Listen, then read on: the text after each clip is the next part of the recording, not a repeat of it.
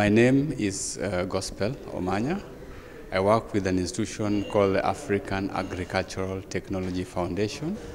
Uh, we are based in Nairobi, where we have our headquarters, and our regional offices in Abuja, in Nigeria.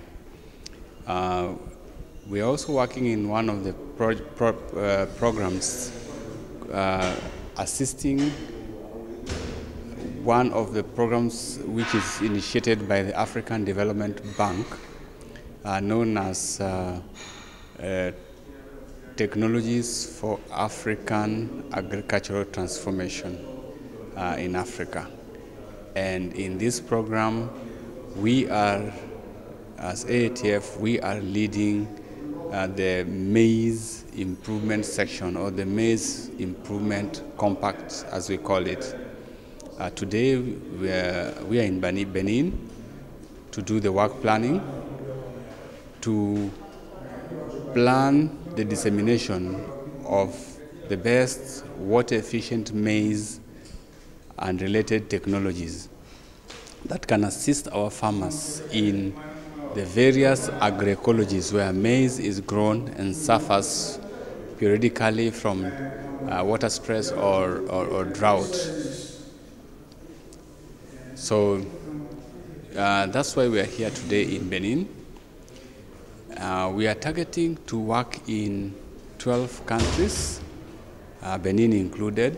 In Eastern Africa, we are targeting to start work in Ethiopia, in Kenya, Uganda, Tanzania, Rwanda, and in Southern Africa, we'll be working in um, Malawi, uh, Zambia, and Mozambique. In uh, Western Africa, we'll be in Benin, Nigeria, and Ghana. Uh, even though that those are 12 countries, as I mentioned, we will probably be extending to other countries because we'll be using uh, all mechanisms, mechanisms for scale out, such as uh, the regional harmonized regulation, regulations uh, pathway. We'll be using the regional, regionally harmonized regulations to have a spillover into other countries as much as we can because some of these water efficient maize technologies are actually uh, well adapted uh, beyond the, the, five, the 12 countries uh, in, the, in various maize agroecologies. So we are optimistic that when these technologies are utilized by farmers, we'll have productivity increases of at least 30 percent improved maize productivity. Instead of having uh, the current, let's say, one ton or 1.2 tons per hectare, we should have, uh, you know, even three tons. You know, nothing prevents us to have even five tons if we use those maize technologies with good agronomic practices. But you're saying at least 30% of the productivity must go up. It is possible. We have the technologies, we have the manpower, and with the resources from the AFDB Bank, together with our partners, uh, we should be able to uh, reach pretty much over 2 million farm households uh, in the 12 countries, and even more by the spillover effects that we will uh, achieve uh, through our various mechanisms or pathways uh, to route as we disseminate the technologies. The Technologies for African Agricultural Transformations maize program uh, has since yesterday been developing a work plan for dissemination of those water efficient maize technologies.